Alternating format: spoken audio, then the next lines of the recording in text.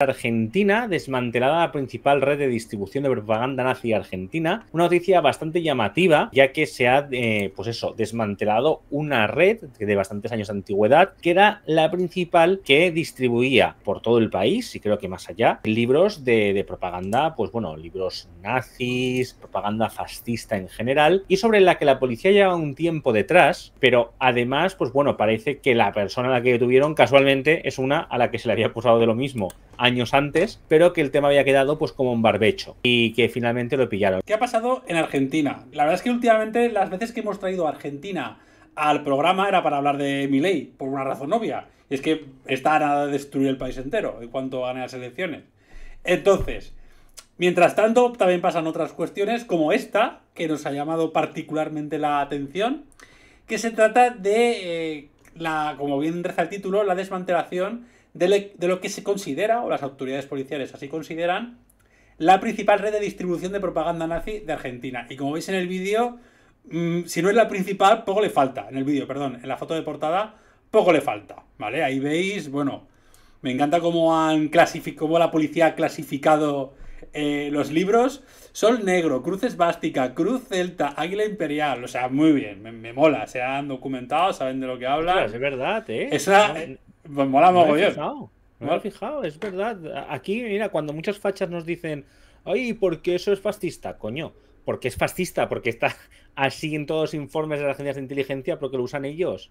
Pesados, ¿no? Sí, sí, pues sí, Lo ha clasificado como si fueran drogas, rollo coca, heroína, tal, pues con, símbolos de extrema derecha. Hay que, hay que incidir en el hecho de que hay una ley contra este tipo de contenido en, en Argentina. Nos puede parecer mejor o peor, pero esto permite, en teoría, o debería permitir, eh, y en este caso parece que es así, que las unidades policiales que se encargan de esto, pues tienen un poco de idea de a qué se enfrentan, ¿no? En este caso. Y bueno, es una investigación que lleva cerca de dos años, ¿no? Más o menos, o casi dos años, donde pues un hombre de unos 45 años aproximadamente, cuya identidad, bueno, no ha trascendido, en el cual, eh, tras una denuncia que realizó la Delegación de Asociaciones Israelitas Argentinas, eh, que se llama Daya, denunció pues eso que había eh, a través de una página web que se llamaba Librería Argentina. Este señor distribuía, bueno, llegó a distribuir más de 300 títulos diferentes sobre libros de extrema derecha, de propaganda nazi, negacionistas del holocausto, etc. Em, también a través de sitios que no tenían nada que ver, rollo Mercado Libre, ¿no? Que son páginas de de distribución de productos, ¿no? Que la gente lo utiliza, pues como aquí Wallapop, pues, eh, o, podría ser eBay también en Estados Unidos, etcétera, pues se hizo una denuncia de, es la misma persona la que parece que está distribuyendo esta propaganda. Pues bueno, según el comisario Fabián Villagra, el encargado de la Unidad de Investigaciones Terroristas de la Policía Federal Argentina, eh, parece ser que difundía pues este tipo de contenido de odio. Que hay un pequeño vídeo que lo podemos poner, ¿vale? Donde se puede ver, bueno, la inmensa cantidad de, de... Esta es la televisión pública argentina, efectivamente. La cantidad de material, ¿no? Que se incautó. Muy bien clasificado, además. Antijudaísmo, fascismo, ¿no?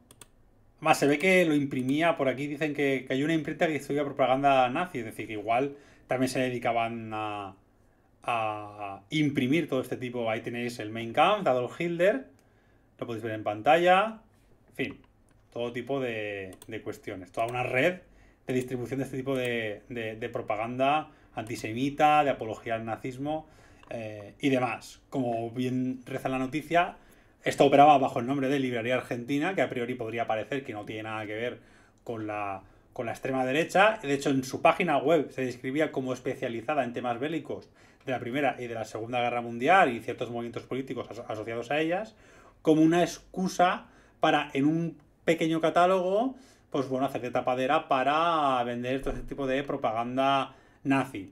Se llegaron a incautar 222 eh, libros, 140 tapas de ejemplares todavía sin imprimir y un par de impresoras de oficina. Y bueno, pues hay un montón de títulos, entre ellos el Mein Kampf, como bien habéis visto.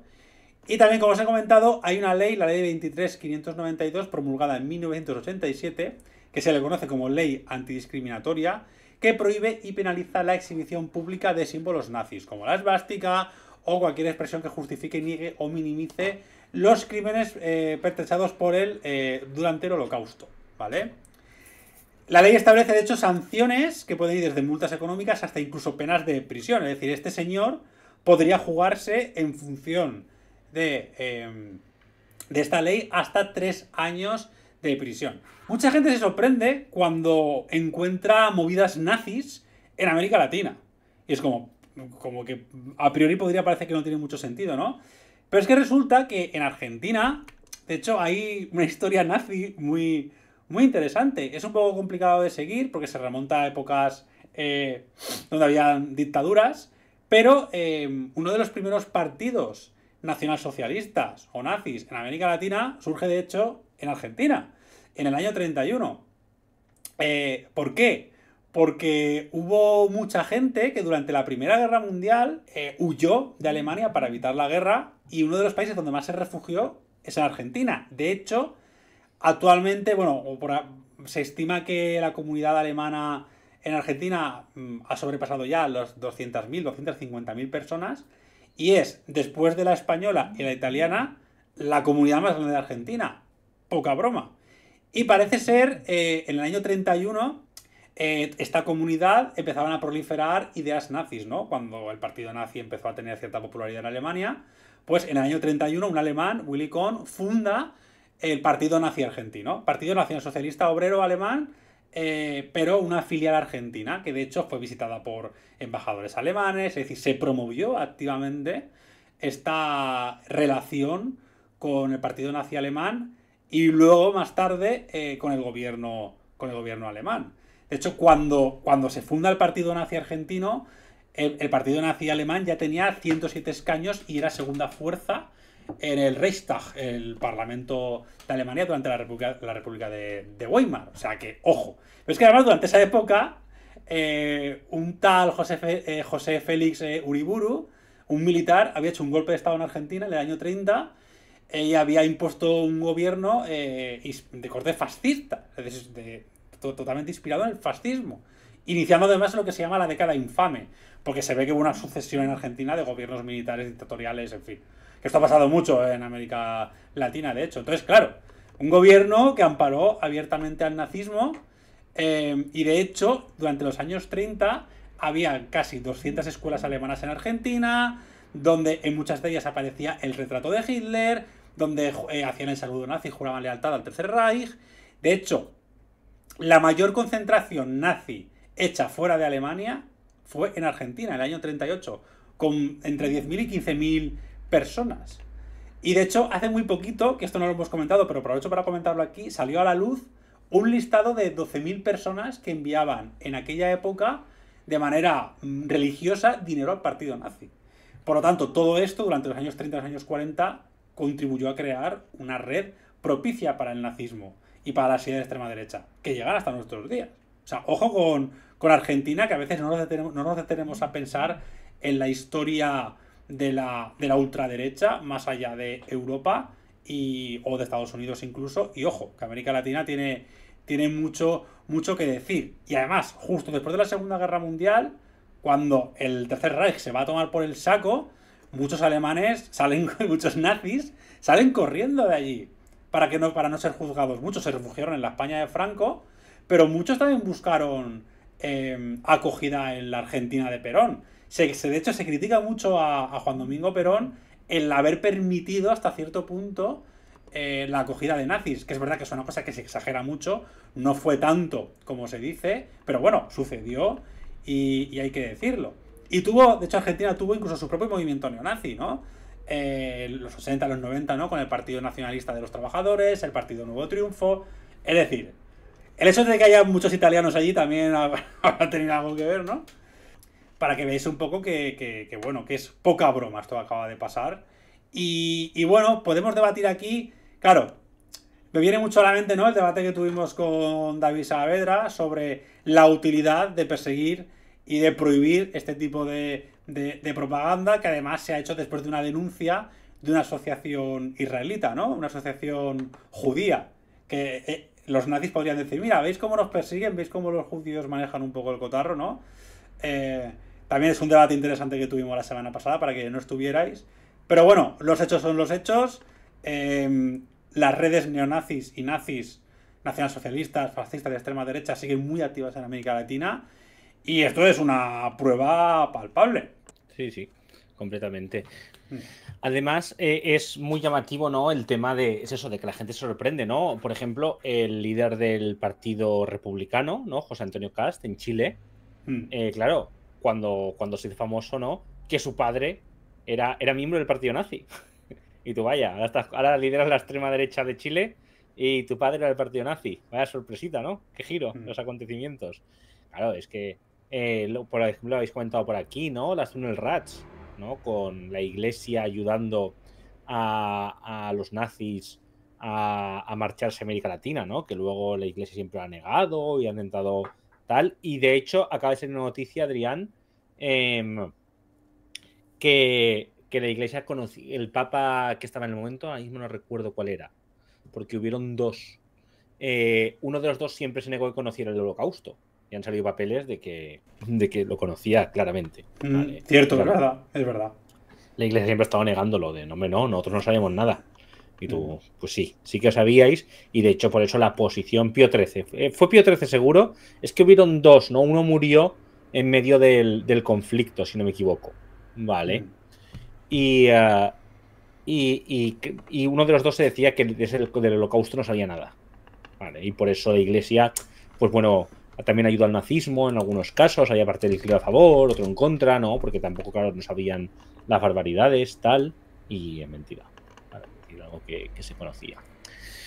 Pero bueno, en fin, eh, nos alegramos de que se haya distribuido desmantelado esta red. El problema de esto es que, bueno, allí tiene una extrema derecha que, aunque, ojo, sí que tiene cosas, cosas nazis, ¿no? Porque de hecho dices, Milei no es nazi, ¿no? Porque el, el anarco, bueno, lo suyo es más paleolibertarismo, aunque él dice que es anarco-liberal, pero bueno, parece es paleo más en muchas cosas que otra cosa.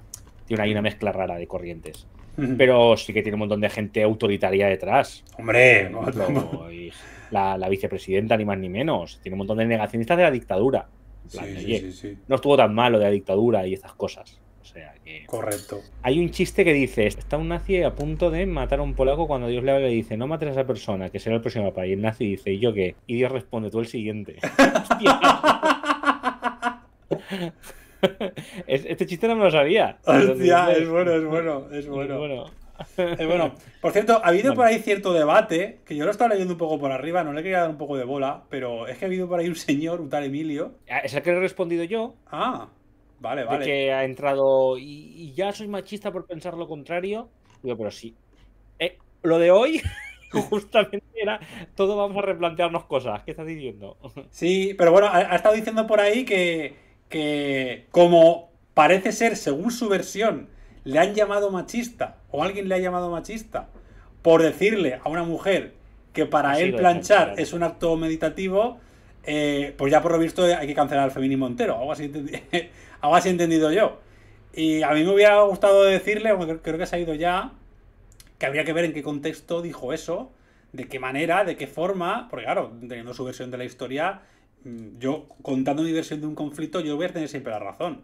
Entonces, si lo que quieres es delegitimar un movimiento político porque alguien te llamó machista por decir algo y resumes todo lo que ha pasado en una frase, como entenderás, no te vamos a dar, no te vamos a dar la, la razón.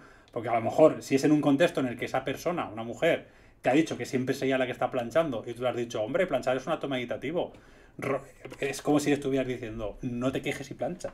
Entonces, quizá el contexto sí que justifica que te llame machista. Que ojo, yo no estoy muy de acuerdo en lanzar apelativos a la gente eh, en general. Si uno quiere hacer pedagogía, llamar a alguien machista o llamar a alguien racista no es útil. Yo no estoy de acuerdo con eso. Lo que digo es que a lo mejor sí que estaba siendo machista con ese comentario. Es decir, no estás siendo machista por opinar. Es que eso es falso. Ah, es que opino diferente y eso ya es machismo. Bueno, habrá que ver cuál es la opinión y habrá que, habrá que ver en qué contexto la dijiste. Porque igual no es como tú lo cuentas. Lo que pasa es que por algún motivo tienes la necesidad de venir aquí a decirlo porque seguramente en otro entorno mm, todo el mundo te lo haya tirado en cara. Con lo cual, daré un par de vueltas.